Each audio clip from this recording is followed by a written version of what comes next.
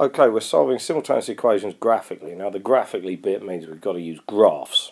Alright, so they've given us a couple of, of, equations here. Remember, the x value and the y value in each equation are going to be the, sorry, the x value in each equation is going to be the same and the y value in each equation is going to be the same. So, first of all, we need to plot the uh, first graph, y equals 3x minus 2.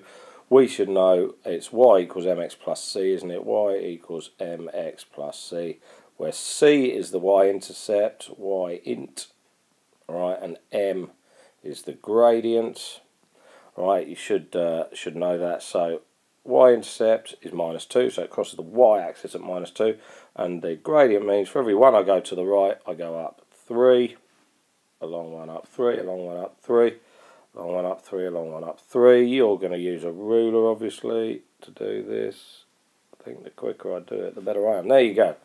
Now the second one says that the x coordinate and the y coordinate add up to make 6. It tells you that there.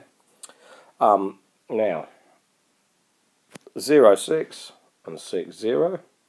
Alright, uh, what about 3, 3? There you go, they add up to make 6. What about 4, 2? What about uh, four, uh, 2, 4? 1, 5? 5, 1. You see, I've got a whole load now of, and I'm going to try and draw this as accurately as possible. When you do this, like I say, make sure you use a ruler. Right, that's as good as you can be. Now, the point where it crosses, I'm going to do that in, actually I should do it in purple, really, I'll use blue and red.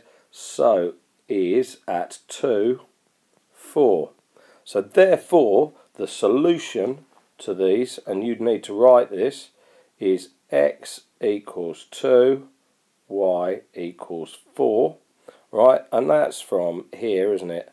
Where we, um, the x coordinate is 2, the y coordinate is 4. So therefore, the solution to these simultaneous equations, x equals 2, y equals 4, you can check them by putting them into one of these or both. Alright, but that's essentially how you do it. Plot the lines, see where they cross, there are the solutions. They won't always be as nice as 2, 4. You might have to um, you might have one and a half or minus. Don't forget you could have negatives, uh, fractions, whatever. But that's essentially how you do it. That's how they all work.